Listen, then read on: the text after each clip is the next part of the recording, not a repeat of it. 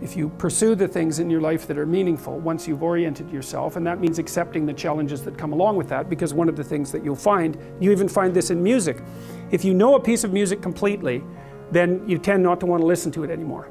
There still has to be some challenge in it. You still have to track it, and sometimes music is so complex you just can't. It just sounds like noise. So instead of aiming to be the entity without flaws, you're aiming to be the entity that continues to realize its flaws and overcome them. Well, that's a game you can play forever. You don't take responsibility for things that you don't accept. You only take responsibility for things that you do accept. Say, well, the world is fundamentally flawed because its fundamental nature is intolerable vulnerability. Accept responsibility for the catastrophe of your life. And that way you transcend it simultaneously. And there's, a, there's an unbelievably hopeful message in there. And the message is, you're actually strong enough to do that, you just don't know it. And you won't find out till you do it. You can't find out till you do it. But if you did it, you'd find out that it was true. It's a massive risk. It's the ultimate in risks, right? You have to be willing to lose your life in order to find it. Don't let what you are stop you from being what you could be. You're on the pathway to continual incremental improvement, you only have to burn off a feather at a time instead of having the whole bloody thing burst into flames. It's a constant source of renewal. I want to seek out a challenge. I want to find out where my limits are. I want to find out where there's not enough of me yet.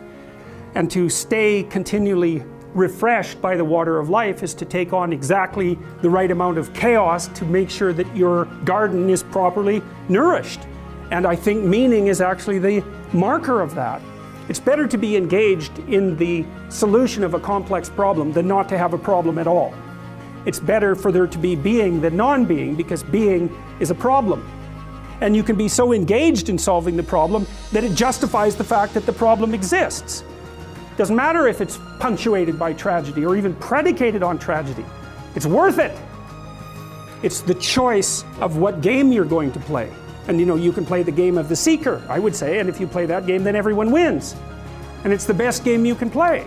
And so the, the, the answer, in some sense, to the tragedy of life, to the catastrophe of life, to the fall, is to adopt the responsibility of mortality that goes along with that, and to play that game maximally.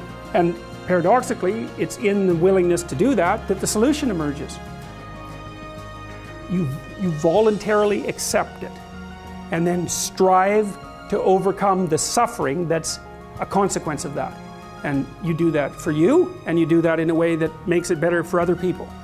The only way that you can find out is by trying it. That's it. No one can tell you how it will work for you. It's the thing that your destiny is to discover that. The point is that there's some games you don't get to play unless you're all in. No matter what you do, you're all in. This is going to kill you. So I think you might as well play the most magnificent game you can while you're waiting. Because do you have anything better to do?